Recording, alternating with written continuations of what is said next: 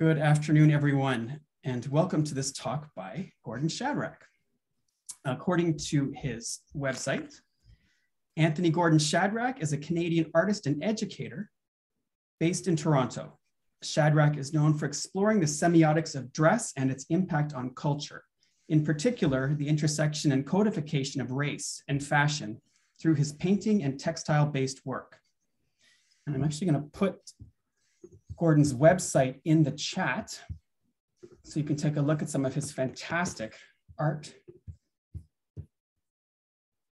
Gordon works in series, like sort of themed series of paintings that go in and become um, his art shows.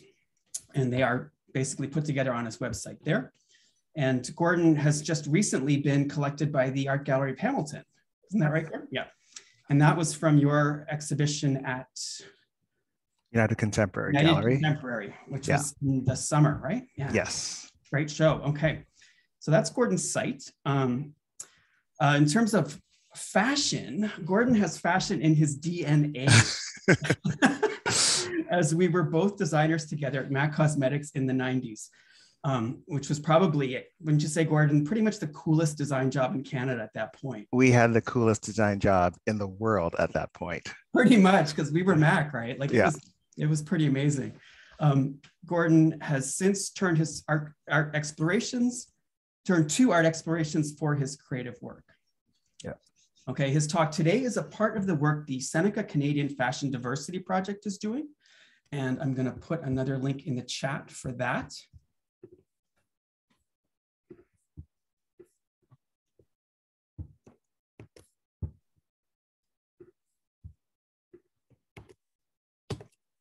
And I'm quickly going to do a screen share.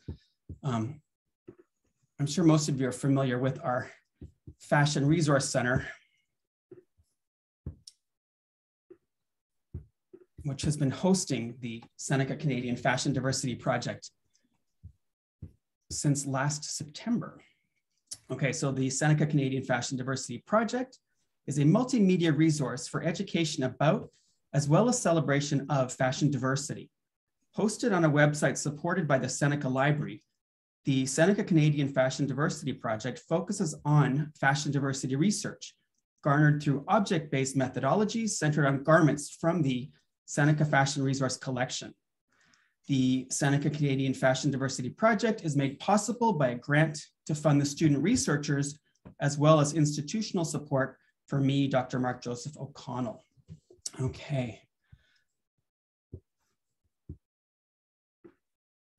So I am going to hand it over to you, Gordon. Um, folks, um, Gordon's going to do his talk, and then we are going to get into the Q&A and discussion after. So as your, your comments and thoughts are coming up, put them right in the chat, and then we will address them as soon, you know, once we get into the, the talk. Okay, Gordon, take it away. Okay, thank you so much, Mark. It's such a pleasure to be here. Um, I am so excited about this. Every talk that I give is different and unique, but familiar at the same time. And so I always get a little bit nervous initially. So if I'm a little off my game, please just, just enjoy the ride with me. Uh, so as Mark said, I am Gordon Shadrach. I am an artist and an educator. I am a elementary school teacher. I am currently on leave so I can focus on my painting full time. And I'm going to be talking to you about my work. And yes, Mark and I were living the crazy life of the 90s. And uh, if I could go back in time, I wouldn't change anything at all. we had such a good time. All right, so I'm going to share my screen and we'll get started into the presentation. And I will be addressing some uh, information about who I am, how I got to be the person I am today. Uh, I'm going to be talking about um, fine art. I'm going to be talking about race. I'm going to be talking about, as Mark said, codification of clothing and what it means, semiotics of clothing, and we'll get more into that as, and we'll see how it's all tied together. We'll see how, um, whether we want to or not, um, whether we want it to be or not, um, race and clothing are intertwined in how people decide they're going to interpret how you uh, present yourself, uh, no matter what our intentions are. And it's something that I've lived with for a very, very long time. Uh, so I might know a little bit about this. So here we go.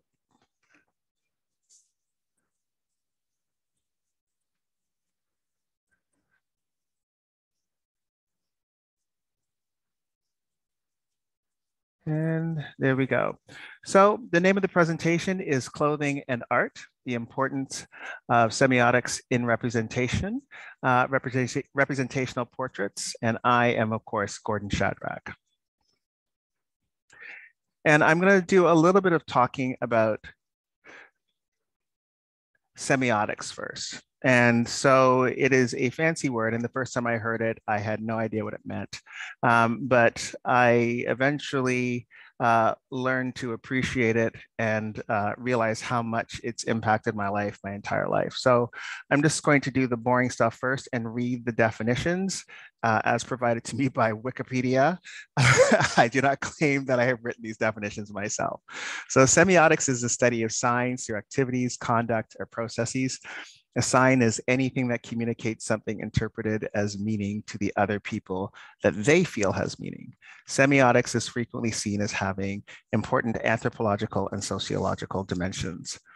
And then where I really focus on is the semiotics of dress. And semiotics of dress is a term used to refer to the design and customs associated with clothing as patterned to a kind of symbolism that has rules and norms. It is a study of how people use clothing and adornments to signify various cultural and societal positions. In other words, it's how we choose to wear what we wear every day. And um, it's interesting because uh, I know that every day I have chosen to wear joggers for the last two and a half years, uh, but uh, this is going to go a little bit deeper than that.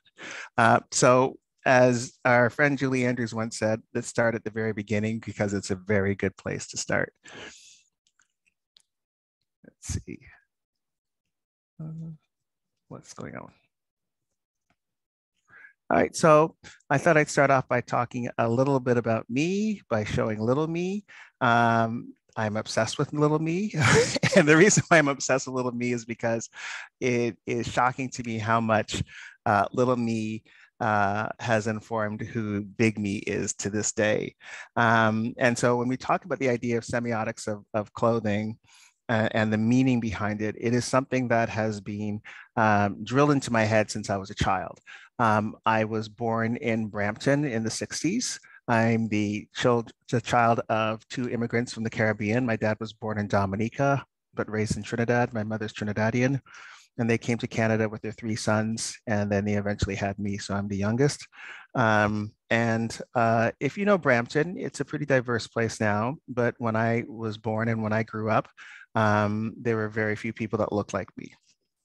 And so it was predominantly white. I was often the only Black child in my class.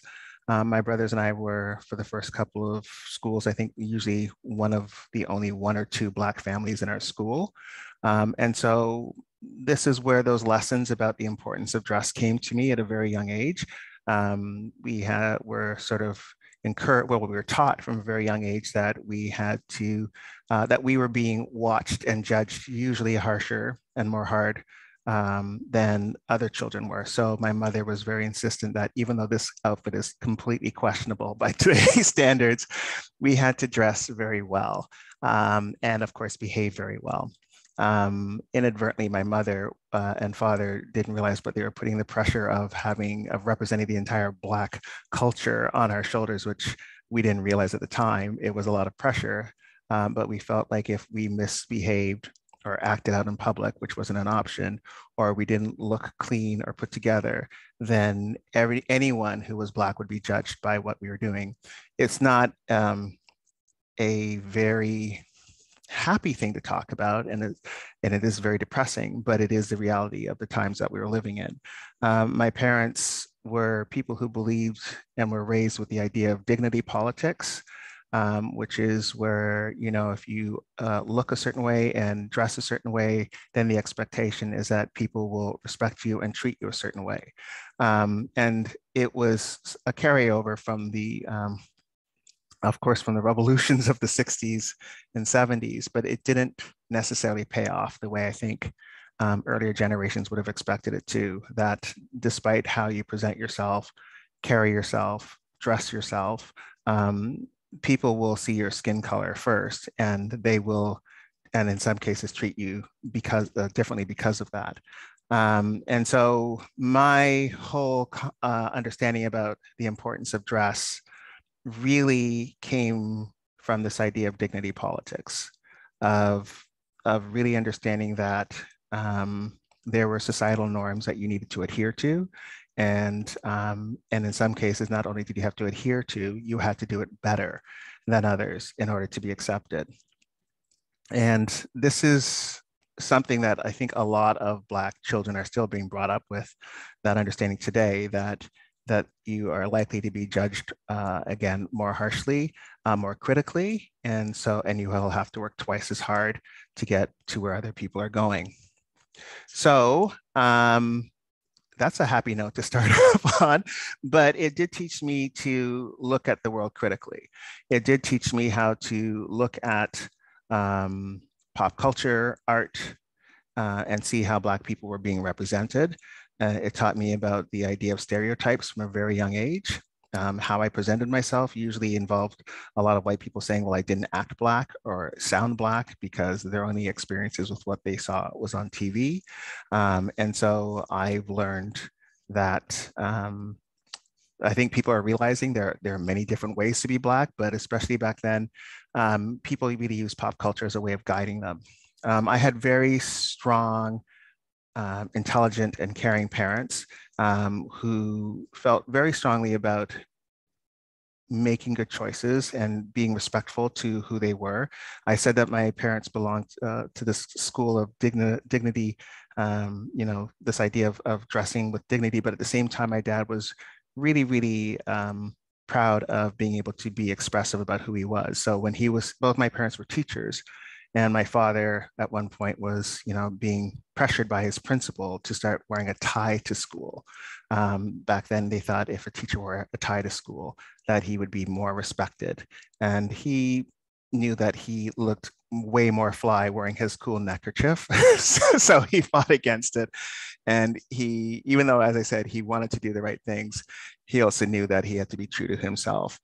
Um, my mother took fashion very seriously, and um, I remember very much watching her transform when she was going out for an evening or to a party with friends. And I would watch rapt with seeing how she would apply her makeup and and how she would get ready every day. So, you know, it really is in my DNA. And my mother actually started to trust me to dress my brothers. So even though I was the youngest in the family, if we were getting ready to go to church, I had to make sure that my brother, who was two years older than me, had a, a, respectable outfit on. I would choose his clothes. So I was actually styling my brother when I was like eight years old to make sure he looked good.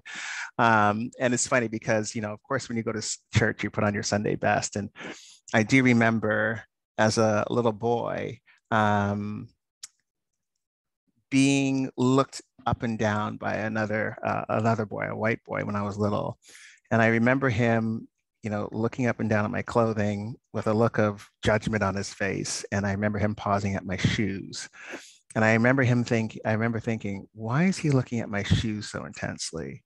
And it, it, it, it sounds really odd, but this is something I have remembered my entire life. And I've realized that, of course, you know, we know that shoes finish an outfit. so I guess he was checking to make sure I was okay. Um, but it's, it's, it's surprising the little things that stick in your brain. Um, and we'll talk a little bit about the shoes thing in just a couple of minutes. Um, I've also taught myself how to sew in high school. My parents were very progressive and wanted me to go and study fashion. And I said, why would I go study fashion? so I never studied fashion. Um, I eventually ended up going to Ontario College of Art back then, which is now OCADU and I studied textile design. So I learned how to uh, print fabric and work with fabrics to make sculptures as well.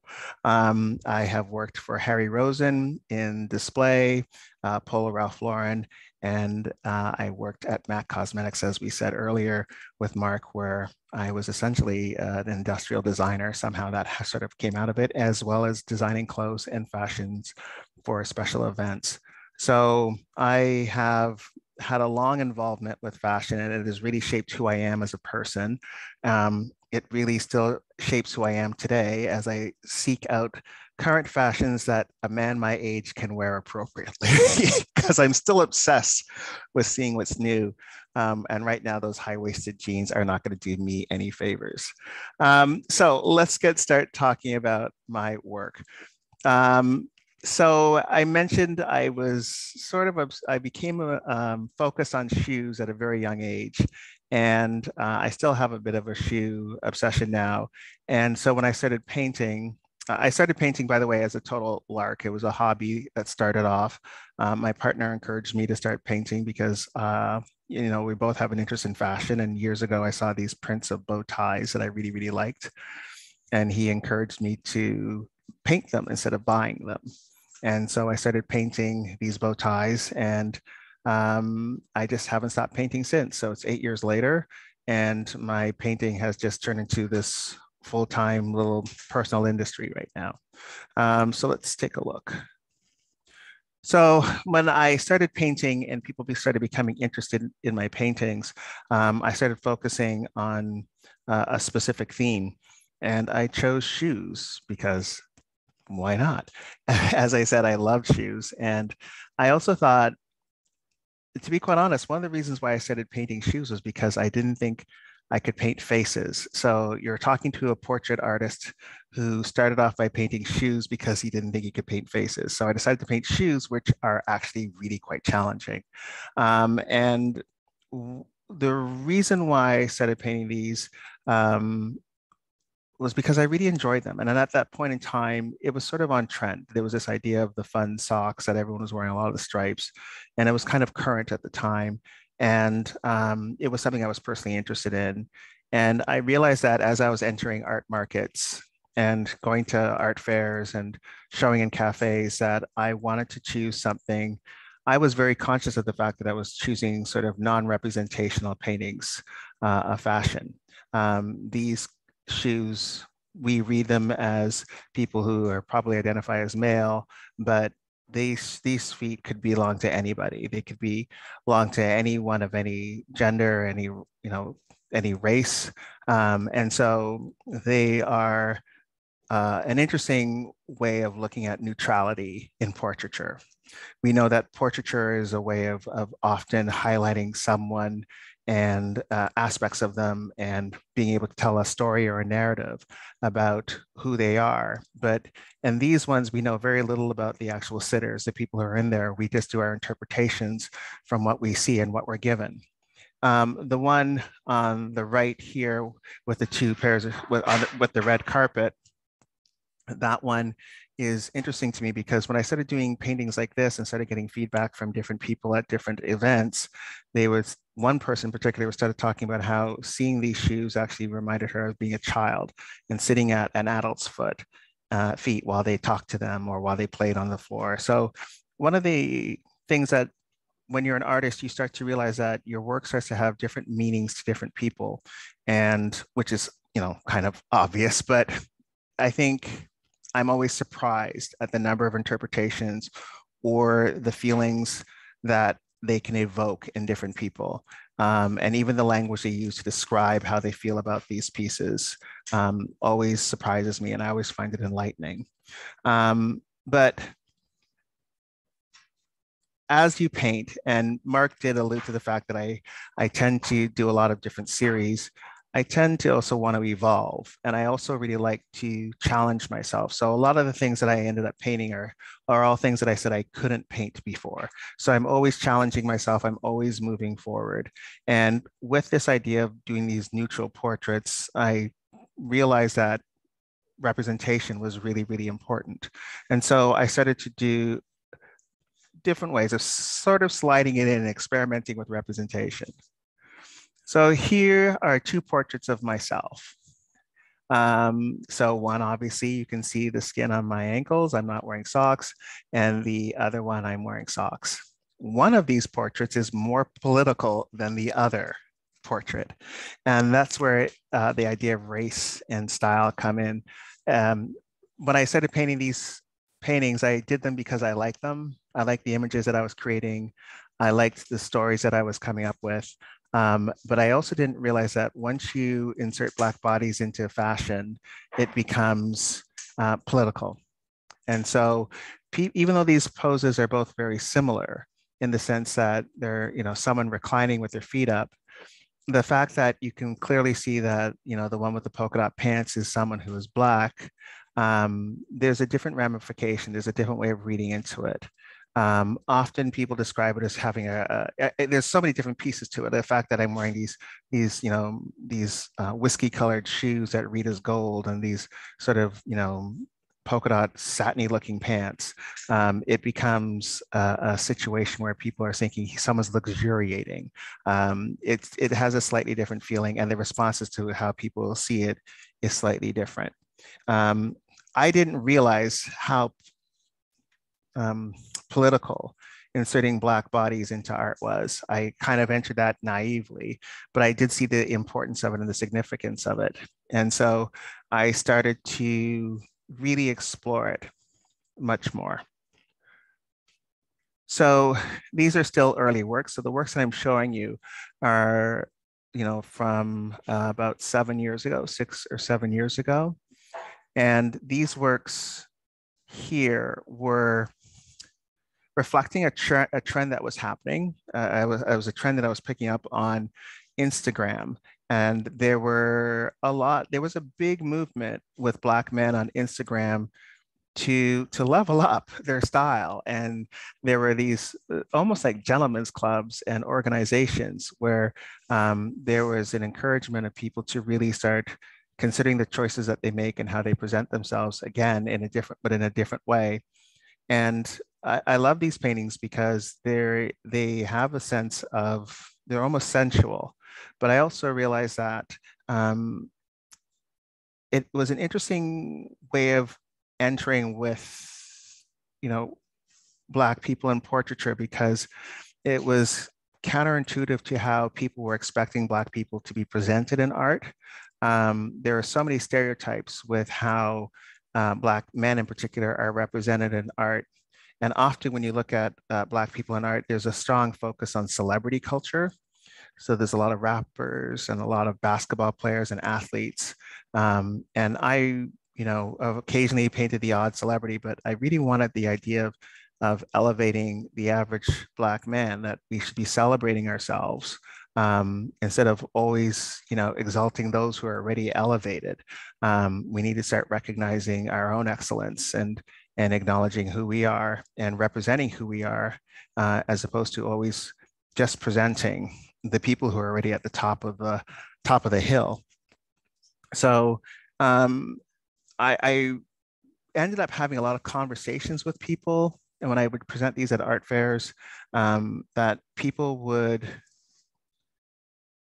a lot of people were happy to see them. Black people were very happy to see them. They were happy to see themselves represented on walls and at art exhibitions. Um, but I think um, other people found them a bit challenging. And the the challenges, the, the conversations that I had uh, in the last few years have revealed to me that the um, that there is a very strong disconnect between um, the openness that we perceive of art lovers and um, what they perceive to be Canadian art. But that's a whole different presentation. Uh, but it's, it, it is surprising. So again, this is another example uh, of a portrait that I did of a friend. And it was this idea of realizing that putting a black man in a suit was somehow revolutionary in portraiture. um, and so the more I painted, the more I realized how narrow uh, and how limiting um, the perception of Black people are in art and culture by the larger art audience. Um, so seeing someone styled like this, seeing someone with dreadlocks and a tie um, was quite surprising to a lot of people. I think people figure that if you're going to represent with some dreadlocks, they're immediately going to associate it with reggae. And this was, uh, again, about seven years ago. It, it's, a, it's a very interesting way of looking at how people have a hard time associating different aspects of culture and putting them together. Um, this is not shocking, and this is by no means groundbreaking. But one of the benefits of emerging as an artist, as I did, which uh, involved me going to a lot of art fairs, meant, meant that I actually engaged with a lot of, of art buyers and art collectors. And that it was really important in shaping who I am as an artist and who I am as um, a, a, a, speaker when I'm talking about art, uh, because it really let me know, um, it really gave me access to the inner workings of a lot of people's minds. And it really helped push me as an artist to keep moving forward and to keep challenging what people were expecting um, this sort of representation to look like. And one of the things that came out of all these conversations, I know that in this situation, the person is looking off, but that's an important part of what I'm going to be talking about next. And what I'm talking about next is something called the gaze. And the gaze, of course, is where the person in the painting is looking and how much that became such a challenging aspect uh, for some of the people uh, that collect art and buy art or go to art fairs and want to talk wanted to talk to me about certain things. Um, so we're going to be looking at my next slide, which is a perfect example of gaze. And this is where it all became clear to me that I was living in a in a world of many different standards. Um, so the painting on the left of the black man with the dreadlocks was one of my early paintings of uh, exploring uh, when I was doing all this this this work with looking at how um, you know black men in suits or dressed a certain way was um, being represented or how it was being taken. Um, I also started to explore historical clothing. I became um, obsessed with historical clothing. There's an amazing um, collection of men's historical dress uh, from LACMA in the US called Reigning Men. If you have an opportunity to uh, have, get your hands on the book Reigning Men, it's really, really incredible. And I've learned a lot from that book. And you can, if you know the book, you'll know that clothing is taken directly from it. Um, the painting on the right is the portrait of Madame Récamier by Jacques-Louis David. It was in, painted in 1800. So the reason why I put these two together is because the exchanges that I was having with people started to realize, I started to realize the biases that were happening um, within the art world and from art lovers. So I showed this painting at uh, the uh, Toronto International, sorry, the Toronto Outdoor Art Exhibition. And I was confronted by someone who was an, uh, uh, an art consultant who told me that my painting Feather in the Cap would never sell. And he said it wouldn't sell because of the sitter's gaze. He felt that the person who I was talking to was white, and he felt that the gaze of my my the gentleman in my painting was too direct and too confrontational. And um, I'm happy to report I sold it the same day to another collector. Uh, but it, it made me kind of obsessed with this idea of gaze and how when we look at the whole history of subversion and the way people have tried to to the the idea of white supremacy and how that impacts black bodies uh, there was an expectation where um, black men would have to look away it would be uh, an insult or it would be dangerous for a black person to make a black man to make eye contact with a white woman. You could be lynched for it. But i'm getting off topic. The, the point of this comparison that I have here is we have a white woman who's in repose and she's gazing at the viewer, but I don't think anyone would ever say she looks confrontational or that she's coming at them. So again, it's this idea of projecting our biases and our, our prejudices. And it's it's done in an open way where people, this is a guy that's dressed as a dandy and that just goes aside. Someone is just looking at a black man looking at him, and therefore it's a negative experience for that viewer. Um, it was a very challenging time for me as an artist um, because I, of course, wanted to be successful as an artist, but I and I started to realize that um, the things that were driving me to move forward as an artist were were the love of what I was doing, but also I reached a point where I realized that I had to keep fighting against this this existing this pre-existing bias that I would never have expected existed. And so if we're looking at this as a world where it's art and we think people are going to be open-minded and it's going to be this beautiful, everyone's going to be so kind to each other, there's a duality there. There's an expectation that um, art is going to look a certain way, um, Black people are going to be presented a certain way, and these are all things that are tied in our culture, in our fashion, in everything. Um, and it has a huge impact on how uh, people are able to succeed in our in our world in our communities. And i'm glad to see that there's been some changes um, you know in the last couple of years. But you know let's look at let's be honest about what it took. It took a whole world watching something horrible happen before people actually started to say you know what? Maybe we need to listen a little bit more. This is another perfect example of um, this is a painting called present that i did.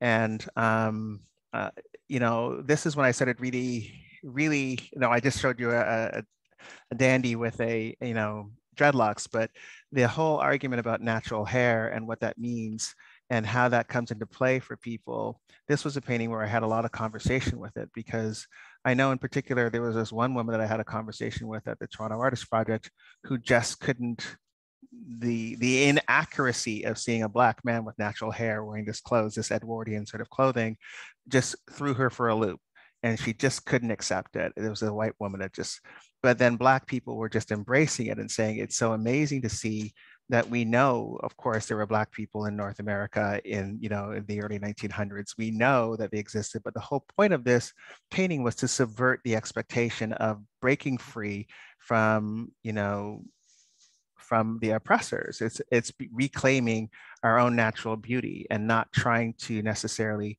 match the expectations of of, of our oppressors. Um, but some people found that really really challenging, whereas I knew there were a lot of people that just embraced it. So as an artist, I really focused on the positive. Um, response that I was getting, the, the positive exchanges that I was having. But the challenging and or negative conversations I had really did also push me forward.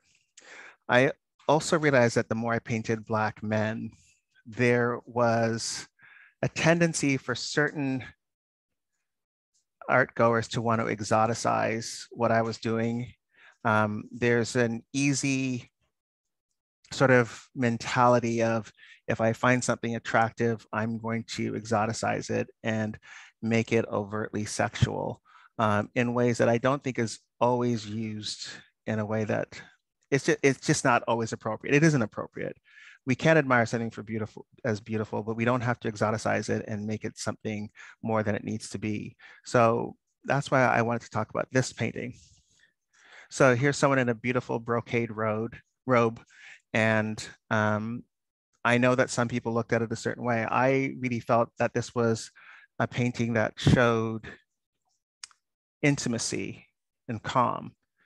And um, I did have some conversations with people that had were challenged by it. And again, even though I think he looks stoic, um, there are, are white people who have taken a look at this painting and found that he looks confrontational, or they think he looks confident, but they say it in a way that seems threatening. so uh, the word confident is a nice word to throw around, but it there there are you know quotes around them sometimes when I hear people say it. Um, but I love this painting because uh, it's not wrong for me to say I love my own paintings, but I love it because it really took me back to my my love of of, of textile design that I spent so much time um, looking at this beautiful pattern and trying to capture it as best as I can. And um, it was a very impactful painting and it meant a lot to a lot of different people. And um, it still continues to leave a mark for a lot of people in different ways, uh, even though it's in a private collection. But again, it's all about the go, the gaze. Um, you know, what what elevates this? Like, so if people wanted to look at this picture and say, well, it's not about exoticizing. It is a sensual painting. It is a sexual picture. Well, what are the things that elevate it? Is it the pose that elevates it? Is it the, the fabric that elevates it? Is it the gaze? You know, I, I really like it when my paintings actually encourage people to think about what we're looking at as opposed to just um, me telling you exactly. I think that painting should elicit or art should elicit questions. And um, they should also uh, encourage the viewer to create their own narratives, to look at the work and look at all the things that are involved in the piece, the gaze, the positioning of the hands, in this case, the cigarette smoke, the, the beautifully ornate robe. And I encourage people to be almost like almost childlike in getting lost in it and reading into it and creating their own stories while they look at it. Um, so this is where we're now sort of switching gears a little bit. Um, we're going, I, I, like to go back and forth in time uh, with regards to my work. Um, I know I'll repeat again that I have these themes that keep going and, and coming and, and changing, but in these conversations that I've had with people about expressions on my, on the sitters in my paintings, um, I, I've, I've been surprised at the number of times and i said and and i don't want to sound unfair but predominantly from white viewers they see some sort of anger in my in the characters in my paintings. And i was getting really really really frustrated. Like some people have said this guy looks angry I think he looks kind of sleepy, but apparently sleepy black men look angry to some people. Um, I, again, I, I, shouldn't I shouldn't laugh because I said I encourage people to have their own points of view, and but I am surprised when it turns to anger um, because that is the last thing on my mind when I'm painting a lot of these. But it did spur me on to start thinking, well, if I'm painting paintings where people are seeing anger in faces that I think are stoic, I should do some paintings where there are emotions showing where you don't really see their faces. And so I decided to take on an I um, like an iconic piece of clothing. And so I started doing a series of hoodie paintings. So using the hoodie um, was a very, uh, very it, it really opened the door to a lot of conversations. Um, and I'll just show you the paintings now and we can talk a little bit about the hoodie. So um, I know that I have many different people uh, that are listening from different, who are born at different times. but in 2012, uh, Trayvon Martin was a young black man that was gunned down in a community in the States um, and, by a vigilante who thought he was dangerous. And one of the things that the uh, uh, I forget the man's first name, uh, Zimmerman, um, said was that he, this person that he was seeing was wearing a hoodie. And so there's been a lot of discussion since about hoodies and what they represent. But right now, I just want to talk a little bit about this. So I did use the hoodies to, to show different sort of emotional responses where I didn't really want a lot of the face to be shown. I wanted it to be represented through color, through positioning, through texture. And I think this was a really good way of addressing this idea of emotion. And I think one of the reasons why I did this, this was like a subset of a show that I did that was called Visceral. And I did two series, one where people were visibly showing how they felt about racism, whether it was microaggressions or macroaggressions, um, and one where you couldn't see their actual faces, but it was represented through their physicality and through this hoodie. Um, and so this was uh, a, a redemptive feeling for me to sort of create these extreme moods and expressions um, without really showing faces, but also using the hoodie as part of the narrative here. Because when uh, by choosing to, to dress them in hoodies, yes, I'm obscuring their faces, but also because it's become such an important and contentious piece of clothing in North American culture. And I can't even say just North American, I should say Western culture.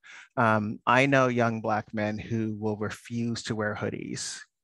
And this is like one of my one of my friends in England. He's he's he's British, and he said he stopped wearing hoodies in high school because he didn't like how he was being treated as a black man wearing a hoodie and it's it's something so innocent as a piece of clothing somehow gets uh, changed, just like alchemy. you know, somehow a piece of clothing on a black person changes how people perceive them. And so I became focused on doing a lot of work on the hood with hoodie paintings um, because um, they're just such loaded symbolism uh, for a lot of people. There are people, as soon as they see like any one of my hoodie paintings, the first thing they say is Trayvon Martin. Um, but you know, I had some really interesting responses when I started doing my hoodie paintings. Uh, CBC Art uh, Arts did a little video, a little interview video with me, and it talked about the hoodies and what it represented. And I foolishly read the comments underneath a posting of my video on, I think it was on Facebook at the time. And you know, people were saying, well, people should dress the way they want to be treated. And so people were actually supporting the argument that I was trying to discuss is that people will look at someone by how they're dressed and treat them badly. In the same thread, someone's like, well, I go jogging in really nice hoodies. I don't understand why anyone would be treated differently. And so again, it was someone who was talking about buying hoodies at like, I don't know, like at a running room or something. And they didn't understand they couldn't differentiate or they were saying that there was no difference between buying like you know a high-end hoodie versus someone wearing one in an you know who maybe couldn't afford one that was as recognizably expensive um, and so it it I would advise anybody to never read the comments under your postings because it can be really, really disheartening. But it was really informative for me. Um, it really showed me that people weren't really listening to the message and that they were actually proving my point that some people felt that if you wore a certain type of clothing, then you deserve to be treated that way. But we all know that hoodies are like an essential part of some people's clothing. It's like, you know, what is your uniform? What do we all wear every day? A lot of times, like a lot of people that I've spoken to since I started doing this, they talk about how a hoodie makes them feel um, secure. A hoodie makes them feel confident. A hoodie makes them feel invisible. Um, so some people put on their hoodie because it's something that they can retreat into um, and just sort of feel lost in. I think uh, a hoodie feels like a hug, to be quite honest. I really enjoy wearing a hoodie and I never wore hoodies for most of my life. Now I have all these hoodies. Um, but it's, it's interesting how, you know, for some people, they say a hoodie, their hoodie is their armor. They put it on and it makes them feel so strong. And so we have to acknowledge that clothing really does have an impact on our own psychology, our own psyche, and it definitely does impact how other people see us. Um, so I did a, a, couple more hoodie paintings. I need to move on a little quicker now, but the one on the left with this the camo, I do a lot of camo in my artwork because I think it's an incredible pattern and I use it all the time. Um, but this one in particular, I don't know if you can see, there's a figure hidden in there. And this, this is a painting that is really personal to me because with the idea of wearing camo, when we think of it as a black man wearing camo, black people tend to stand out more in camo than if, so, eh, you know, the idea of camouflage trying to take you away, but the work that I do talks about how it actually can draw the eye to the wearer. But I also have embedded in here a basketball player. And so to me, for me, this was like a really personal piece because it's the idea that people can see me as a tall black man or as a tall black boy when I was younger, and all they saw, no matter what else was going around, was a basketball player and what it represented to them. So um, I think when we look at, uh, and this one also speaks to me too, because as I said, my background is in, in textile design. So I really love being able to play with the pattern. Um, we look at body language, we talk about the the posturing of people and how that makes a different significance in the paintings. So, you know, if we look at this painting here, if the viewer is not even gazing and the viewer is able to interpret however they want to, whatever's, you know, what they think is going on in the painting. I'm just going to move a little quickly. Um, I've included a couple of pictures here, uh, which talks about looking at historical products. This is called Negro powder. It was a cleansing powder. Uh, the idea is that this young man here is wearing his uniform, he's cleaning and showing the strength of this powder. And I turned it into Negro power and I converted the painting. I changed the painting. It's about uh, owning it as something positive. I want to say reclaiming it because this image was something that we would never have created ourselves.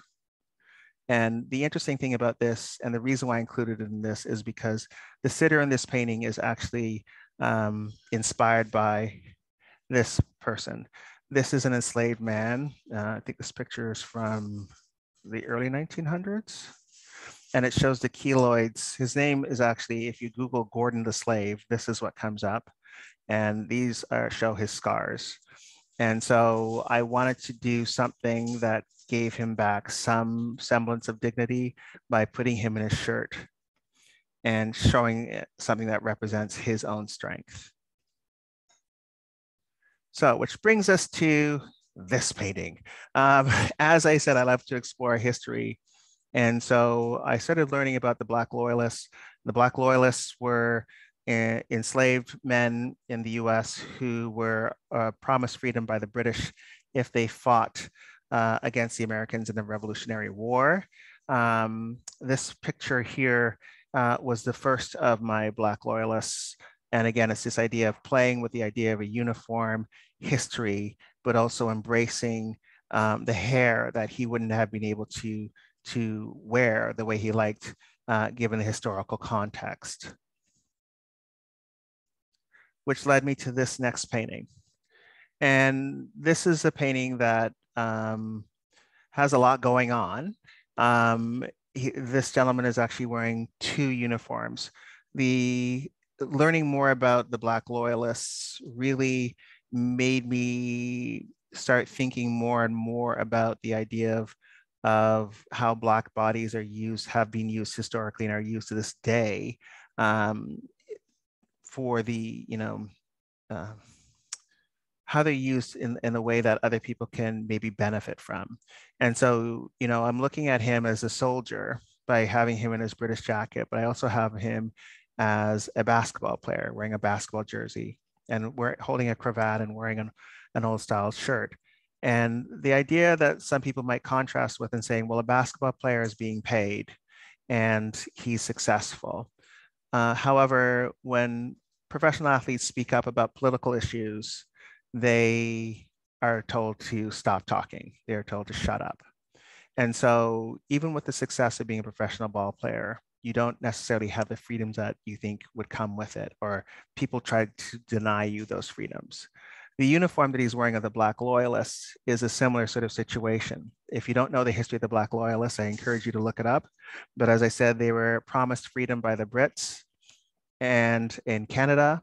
There's an area in Canada, in Nova Scotia, near Halifax, called um, Africville, where a lot of the Black Loyalists settled. And um, well, when you make a deal with the devil, it doesn't always pay off. So it was not the promised land. Um, and um, the land was actually also taken away from the Mi'kmaq people.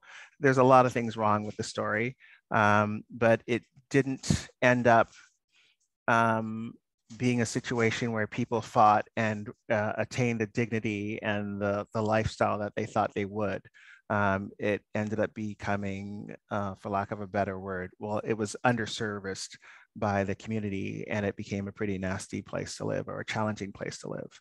And so, um, again, it's this idea of the promises that we receive by fighting or by joining or participating.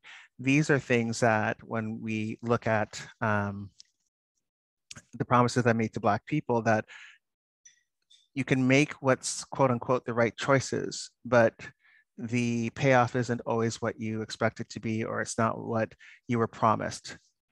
And um, that informed my most recent show, which Mark, and one of the things I, one of the reasons why I also want to show you this is that I also have, um, I frame a lot of my paintings in, uh, in, in old frames. So often I end up using old mirrors, but um, and using the frames. And this one I absolutely love. It's so ornate and so detailed, but if you look at it, it's broken, it's damaged.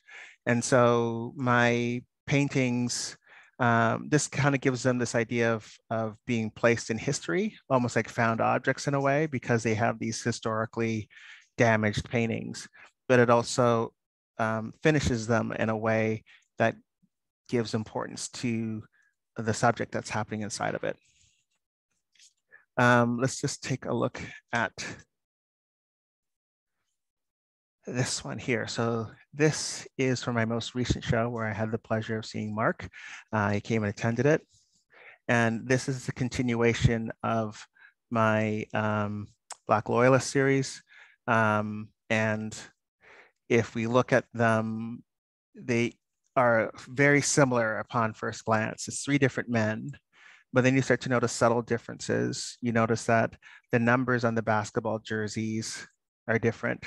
And you might notice that the person with the 82 jersey has a sort of a more elaborate necktie. And so even though they're all wearing very, very similar uniforms, you'll also notice that this gentleman, you can actually see his cuffs, his hands on this one. So what I was hoping to do with this is tell a story. These portraits are called, um, oh my goodness, I just blanked out on the first one. draft pick, I use sports terms. This is draft pick. So this is like the first round of, and so the year 75, the numbers on the shirts represent the years. Uh, so 1775, um, he would have been, you know, draft pick first round chosen. He's young. There's a bit of movement to his, the tassels on his epaulettes. His hair is moving a little bit. 79 is the new recruit. So 79 in that year was the year that um, when when black people were first you know drafted into this army against the Americans, um, the revolutionaries, they were not actually entrusted with weapons or given uniforms. So the Black Loyalists originally were given shovels and told to dig ditches and were given menial tasks. And as the Brits realized they were losing the war towards uh, 79, they actually started giving them weapons.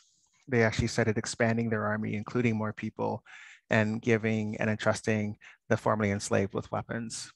And then 82 was the end of the war when the Brits conceded that they lost. And so I wanted to represent in this last painting um, here that he's showing that he's free. His hands are free. And so you can't see the hands in the other two. You can imagine there is no shackles, but I, I like how the cuffs or the gauntlets of his arms look like shackles that have broken free.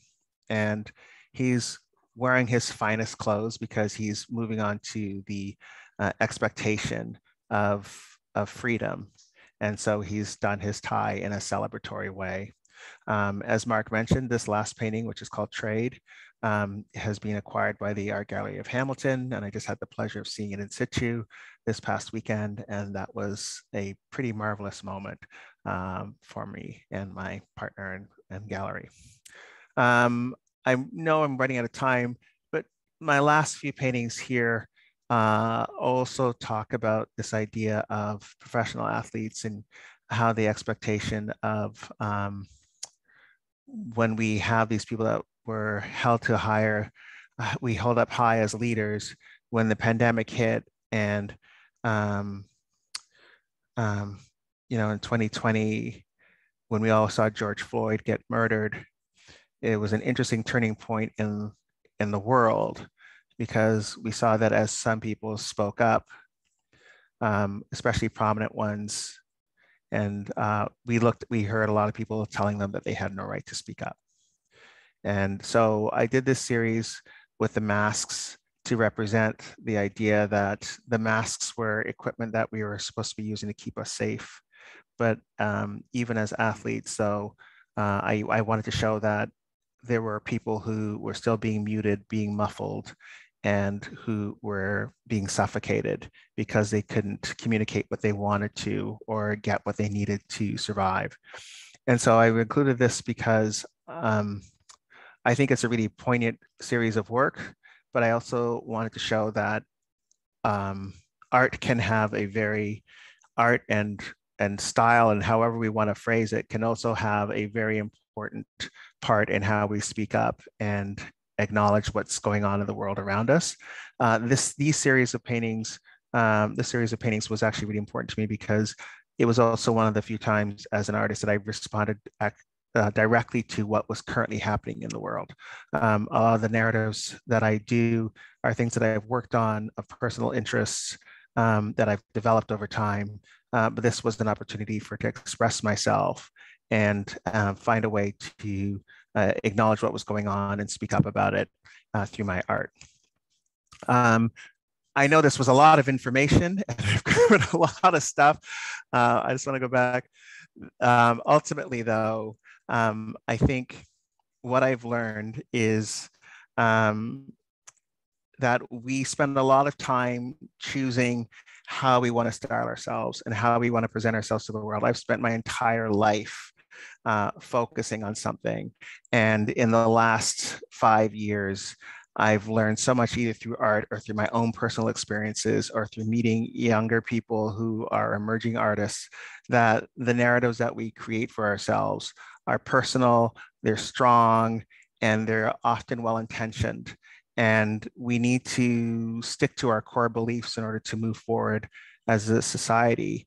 Um, and we don't need to let in the people who um, who try to tear us down because uh, if we don't continue to move forward and if we don't uh, continue to uh, fight to hear have our voices heard the way we want to have them heard no matter how we choose to express them um, then they're going to win and they shouldn't win. So let's all just keep fighting the good fight. And that's what i'd like to say for today